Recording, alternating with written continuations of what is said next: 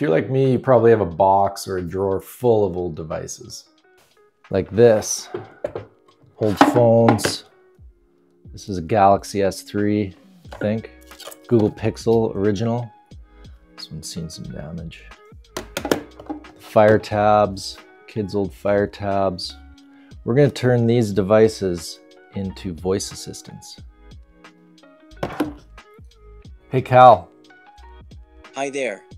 What's on the calendar today?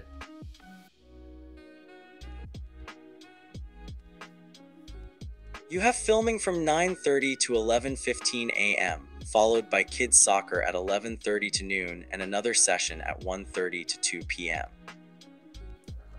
All right, I'm gonna show you how to do that, but before we dive in, I just wanna say thank you to everyone for the response of all the videos, to CAAL, people actually building with CAAL, conversations on Reddit, on YouTube, PRs being put in, on GitHub, merci beaucoup, and the issues being tracked. It's been a big week. Thank you very much. It's been awesome. And since releasing, we've shipped a lot already. Apple Silicon support, multi-MCP support. We've gone to server-side wake word and set a Pico voice. So now you're not tied to one device only, which is a big deal for what we're gonna look at here today.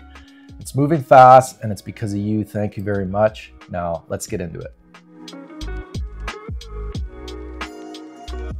If you haven't been following along, CAAL is a voice assistant that I've been building. You can run it on your own hardware. It discovers tools automatically through N8N workflows, and it even can build its own tools. The core components are LiveKit, Ollama, N8N, and then the voice pipeline.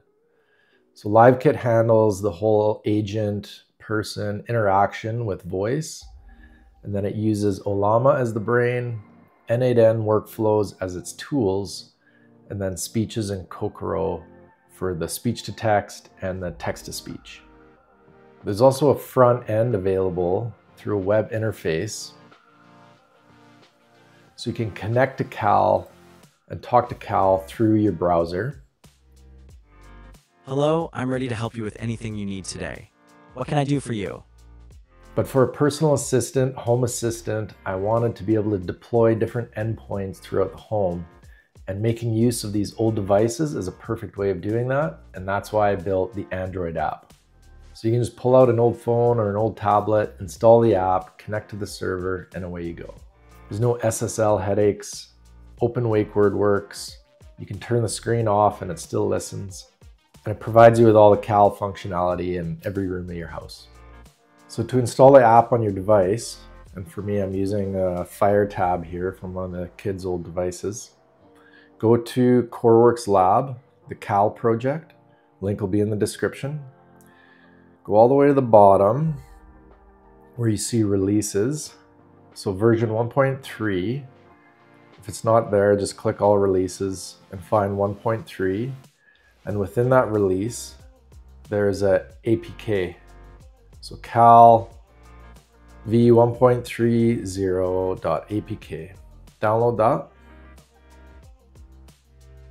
Download. Download anyway. I've already downloaded it once.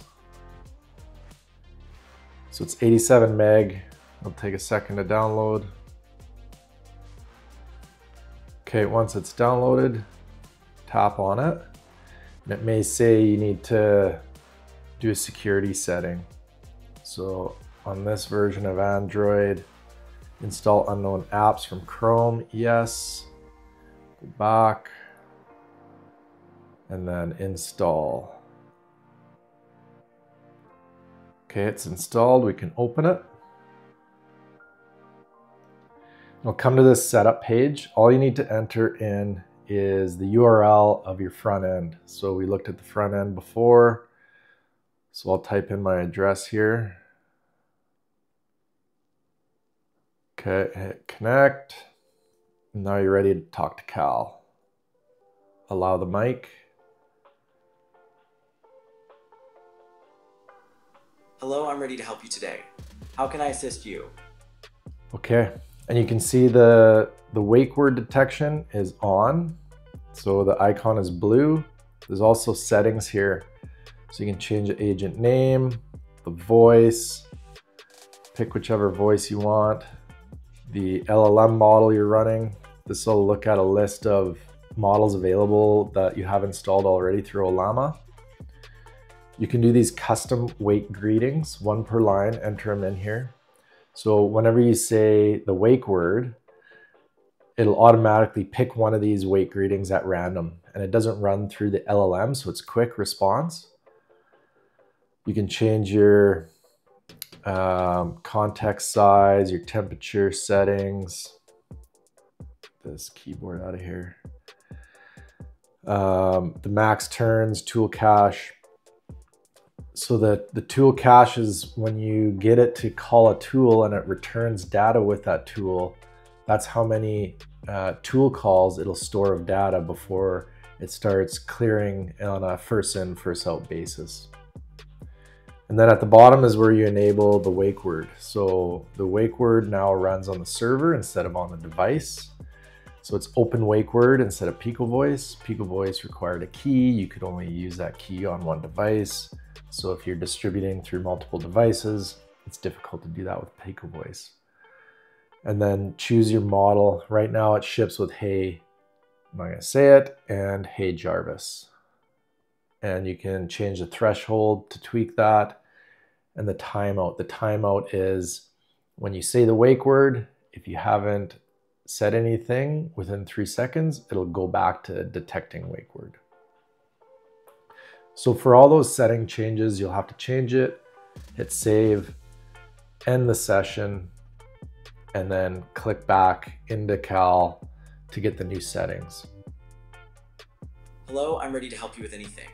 How can I assist you today? So let's give it a try. Hey CAAL. Hi there. Is the garage door open? The garage door is closed. Okay, and then you saw the, the green ear icon when he was listening, and then after he responded, it waited for that timeout period, which is configurable in the settings, three seconds for me to do any follow-up questions, and then it goes back to listening and you can see the tool icon.